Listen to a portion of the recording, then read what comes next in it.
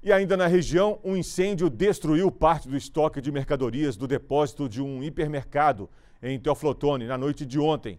Dois caminhões do Corpo de Bombeiros e até uma retroescavadeira foram usados no combate às chamas. Nas imagens cedidas pelos bombeiros, é possível ver o estoque de papel higiênico destruído pelo fogo. O ambiente ficou tomado pela fumaça. As imagens feitas por populares mostram as chamas que tomaram conta do ambiente. Dois caminhões do Corpo de Bombeiros foram usados para combater o fogo.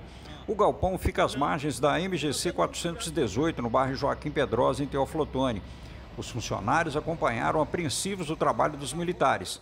Um caminhão-pipa ficou à disposição para ajudar as equipes no serviço. Após o controle do incêndio, o comando do Corpo de Bombeiros avaliou a situação.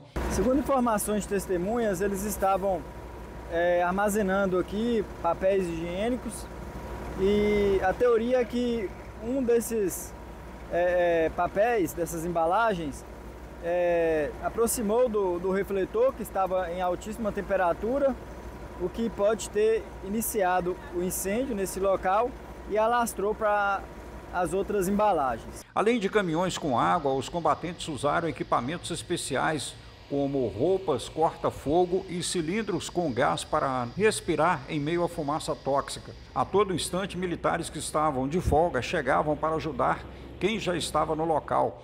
Segundo o tenente Alonso, os funcionários da empresa tentaram apagar o princípio do fogo, mas não conseguiram. Quando o Corpo de Bombeiros chegou, a... os funcionários já estavam utilizando o sistema de hidrante da edificação, onde foi possível né, já dar a primeira resposta e posteriormente nós iniciamos o combate de forma direta, onde utilizamos cerca de 10 mil litros. Um caminhão da empresa que estava no galpão ficou parcialmente queimado. Ele foi retirado antes que fosse tomado pelas chamas. Segundo informações de testemunhas, pela própria irradiação do calor, é, houve né, o princípio de incêndio aí no, no veículo, nesse caminhão, e o motorista conseguiu afastar o caminhão a tempo do galpão e o Corpo de Bombeiros posteriormente né, realizou o combate, tendo aí danos parciais a, a, ao veículo. Esse foi o segundo incêndio em empresas de Teoflotone em menos de 15 dias. O comando do Corpo de Bombeiros vai implementar estudos para evitar situações como essas. O que recomendamos é justamente é, os proprietários né, regularizarem as suas edificações e manterem os funcionários treinados para que possam dar essa primeira resposta à chegada do Corpo de Bombeiros.